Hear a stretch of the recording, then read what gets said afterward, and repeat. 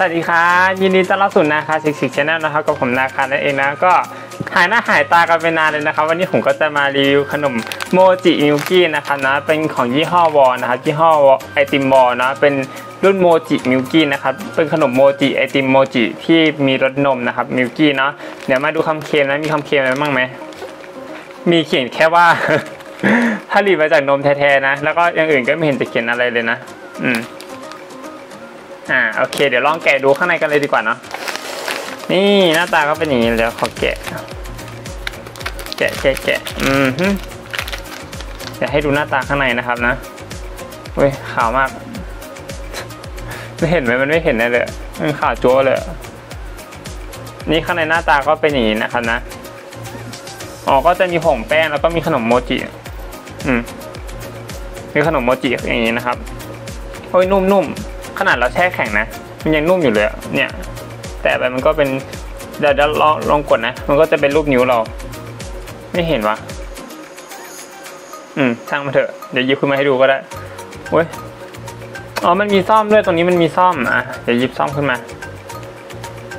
ขนมอันนี้ราคา 20 บาทนะครับ สามารถหาซื้อได้ที่เซเว่นแล้วก็ร้านค้าชั้นนำทั่วไปนะเขาให้ทำไงจิ้มจิ้มมาเลยอะจิ้มเหรอจิ้มไม่ได้อะ มันไม่ติดวะเขี่ยขึ้นมาได้ไหมอะเขี่ยขึ้นมามันก็จะยืดๆอย่างเงี้ยนะ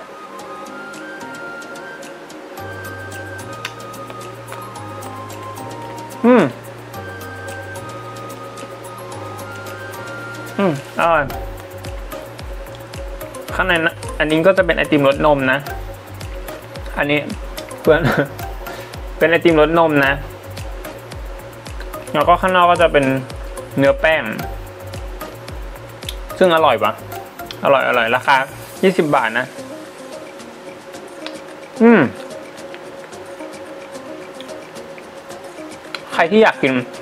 ไอติมโมจิอะไรเงี้ย แล้วก็มีงบน้อยใช่ไหมเราว่าอันนี้ก็เป็นพูดว่าไงทางเลือกที่ดีเนาะ ก็โอเคอยู่ เหนียวนุ่ม แล้วก็ไม่หวานเกินไปนะไอติม ป้งคือเหนียวนุ่ม อร่อย หน้าตาก็จะเป็นอย่างนี้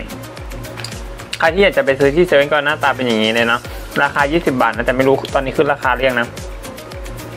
เราไม่หาซื้อกันได้ ที่เซเว่นอีเลเว่นอืมอร่อยคือทุกอย่างมันดีมากเลยเพื่อไงทุกอย่างมันดีไปหมดเลย อืม มันแบบมันลงตัวเอออ๋อแป้งมันก็เหนียวนุ่มกำลังดีเลยนะคือแป้งมันก็เหนียวนุ่มกำลังดีเลย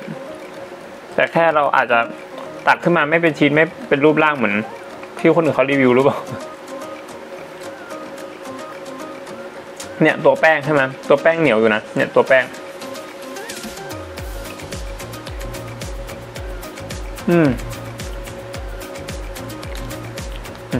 อันนี้เป็นตัวไอติมหน้าตาเป็นองตัวไอติมก็จะเป็นรสนมกับวานิลลาผสมกันนะ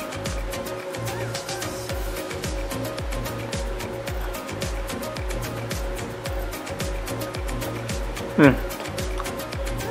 อร่อยเลยอะ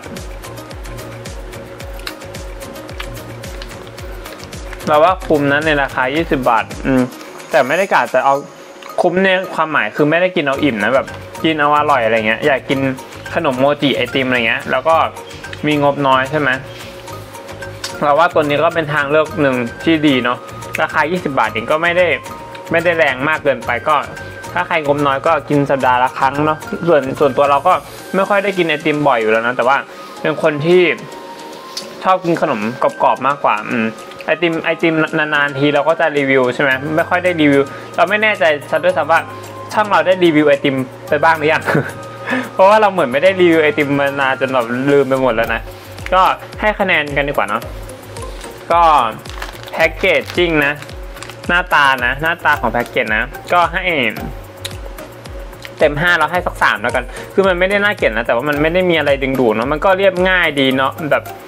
เรียบง่ายดีดูดูมินิมอลเออมินิมอลดูน่ารักดีแต่ว่าก็ไม่ได้มีอะไรโดดเด่นจนแบบต้องหยิบขึ้นมาเข้าใจฟิลไหม